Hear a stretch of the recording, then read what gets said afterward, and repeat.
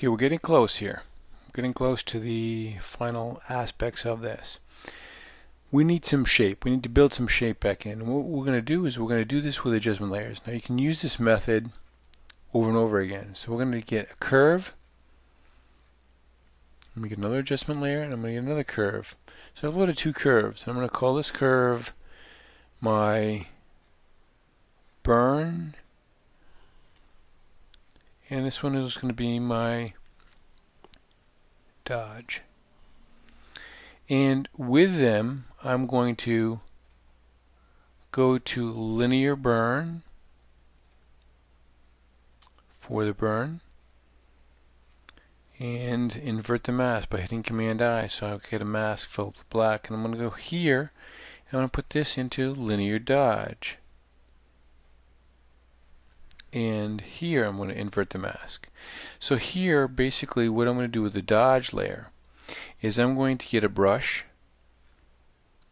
and I'm going to paint with white so I'm going to flip to white as my foreground color and I'm going to get a fairly small short brush 50% flow and maybe 20-25% opacity and we'll get in a little bit closer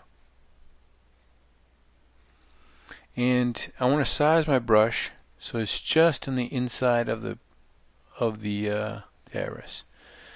And I want to go around with one stroke around once. And then I'll do the other iris. Get a little bit bigger brush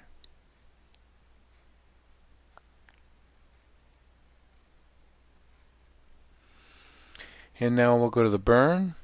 And now I'm going to get a smaller brush. And this time I'm also going to get less of a percentage maybe 15% or so. And I'm just going to do the fringe or the very edge of the iris around once. Should be enough.